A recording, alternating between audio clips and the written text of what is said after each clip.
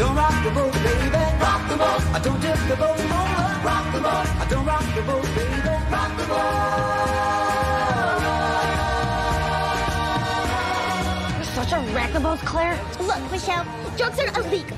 Drugs are addictive. But perhaps most importantly, in this country, you can lose your kneecaps if you're caught doing them. And I'd like my kneecaps, Michelle. They suit my knees. You do have cracking kneecaps, Claire. Is that true? Sort of. Too hard with you and me. Our love is like a ship on the Tell the truth. Large as life. Oh, God. What is it? He's got someone.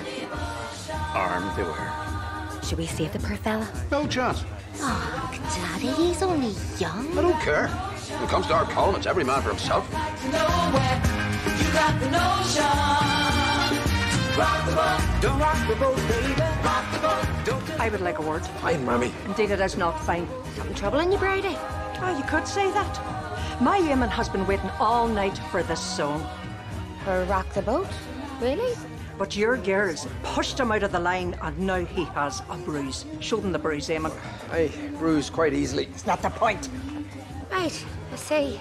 I'm sorry about that, Eamon. Is that all you have to say? I'm not sure what else there is to say, Bridie, except maybe our girls are 16 and Eamon's a 50 year old man. Look, it's a rough routine, Bridie. You know that going in. You sit down on that floor at your own risk. You are seriously not going to pull them up about this? No, Bridie, we're not. Let's rock the boat. Well, that certainly explains a few things. What's that supposed to mean? It means that a bit of discipline would do those girls no harm. They have been running about all day like a couple of wild animals. Okay, that'll do, Bridie. Then the apple never did fall far from the tree. Mammy, please. You girls never did know how to conduct yourselves. Nothing but a pair of hellions. Come on now, Bridie, that's enough of that. Not there's any need you to defend them. You big pair of knickers. It wasn't my poor sister's fault.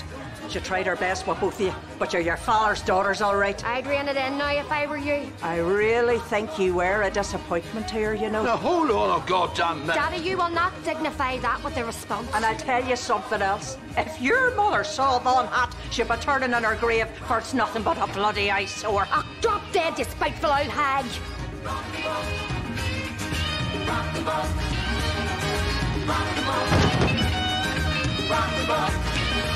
catch yourself on. Rock the boat. Rock the boat. Rock the boat.